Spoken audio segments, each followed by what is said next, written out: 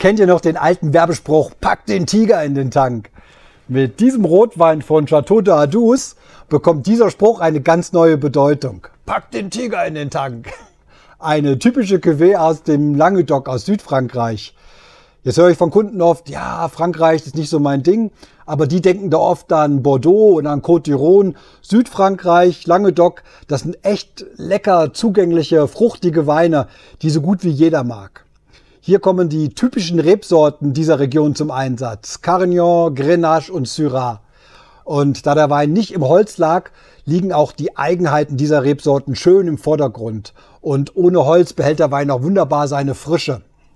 Seine druckvolle Eleganz hat ihm dann wahrscheinlich auch den Namen Le Tigre eingebracht. Das hat auch den renommierten Weinkritiker, renommierte schon fast zu wenig, dem Weinpapst Robert Parker gut gefallen und der hat diesen Wein mit 90 von 100 Punkten bewertet, was einem hervorragend entspricht. Und äh, wir haben den Wein mit 91 von 100 Punkten bewertet. Wir finden ihn also noch hervorragender. Aber wenn man den Preis dazu sieht, ist er nicht nur hervorragend, dann ist es sogar sensationell, weil mehr Wein fürs Geld, das geht einfach nicht. Und was heißt das jetzt für euch? Ich sag's euch, bestellen Leute, weil das Leben ist zu kurz für schlechten Wein.